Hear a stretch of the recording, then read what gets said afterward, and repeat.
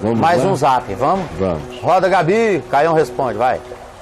A graça e a paz do nosso Senhor Jesus Cristo. Que Deus abençoe todos os irmãos da VNVTV, né, todos aí da equipe do Caio Fábio, porque ele não trabalha sozinho, ele tem uma equipe que trabalha com ele. Deus abençoe vocês todos.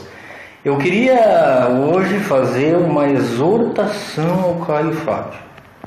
Ele que tanto cheio de amor nos exorta todos os dias para o nosso bem, é tão bom ser exortado por ele. Hoje eu quero fazer uma exortação ao Caio Fábio. Caio Fábio tem que caminhar. Tu tem praticamente a idade que teria meu pai se fosse vivo. E esses dias eu estava olhando também para minha mãe que já está com quase 80 anos e eu pensando como eu vou achar falta dela no dia que, se por acaso ela for antes de mim se encontrar com Jesus, com o rio da vida, né? com a árvore dos doze frutos, se ela for se encontrar, mas eu vou ficar aqui com muita saudade. E de ti eu sentirei muita falta se caso eu não for antes e tivesse privilégio de chegar lá antes de ti.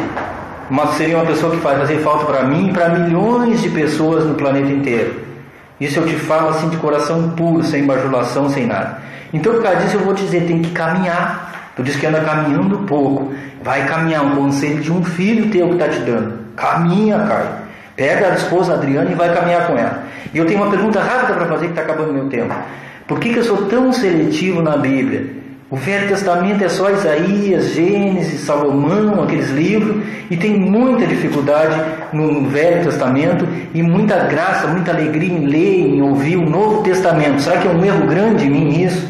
Essa dificuldade de ser tão seletivo na Bíblia? Ou isso é uma coisa que não traz problema maior? Grande abraço aos irmãos, é aqui eu sou Trindade do Finzinho, no Rio Grande do Sul. Pessoal aí de Pelotas, Bagé, da região, entre em contato comigo se puder, viu? Outra hora eu dou o WhatsApp, está acabando meu tempo. Abraço, graça e paz do nosso Senhor Jesus. Ei, meu irmão, é normal, não é, querido? Se depois que você entende o Evangelho e lê, lê Jesus, qual é o prazer que o cara vai ter de todo dia pegar o livro de Levíticos e dizer então, corte a asa da pombinha, derrama o sangue no lado tal do altar e tal, fica aquele masterchef de sacrifícios. É um Masterchef? É, de sacrifícios. Ou ler o livro de números com aquela gerociclano, em fulano. Se você está querendo, é palavra. Ô, gente, o É normal. Isaías é praticamente evangelho. Jeremias, os salmos. Não foi o que Jesus fez? Mostrou aos seus discípulos tudo o que constava a seu respeito. Na lei de Moisés, ou seja, no Pentateuco, ele foi top. Mostrou o que constava a seu respeito, aquilo que nele se cumprira já, e que era só uma sombra. Mostrou nos salmos profecias acerca do que ele encarnou, e mostrou nos profetas, Isaías, Jeremias, Ezequiel, os profetas, aquilo que constava acerca dele. O resto era o ensino dele. Normal, não é? Quanto a caminhar, muito obrigado pelo seu carinho filial. Eu recebo com todo amor. E eu tenho caminhado com a minha mulher todos os dias.